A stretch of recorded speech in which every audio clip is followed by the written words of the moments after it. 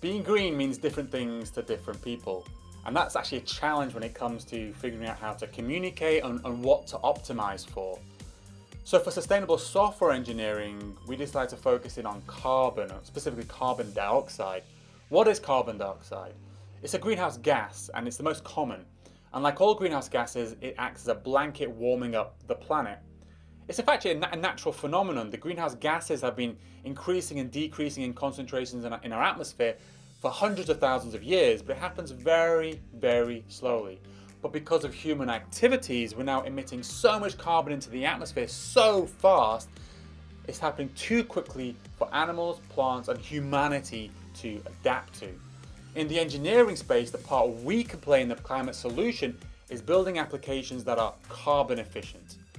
We will always be emitting carbon. Our goal is for each gram of carbon that we emit to get the most value possible from that gram of carbon.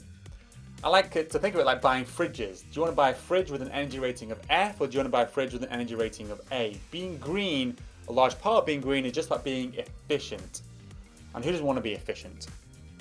And being carbon efficient is about building applications that add the same value to you or your users but emit less carbon. That's why the first principle of sustainable software engineering is to build applications that are carbon efficient.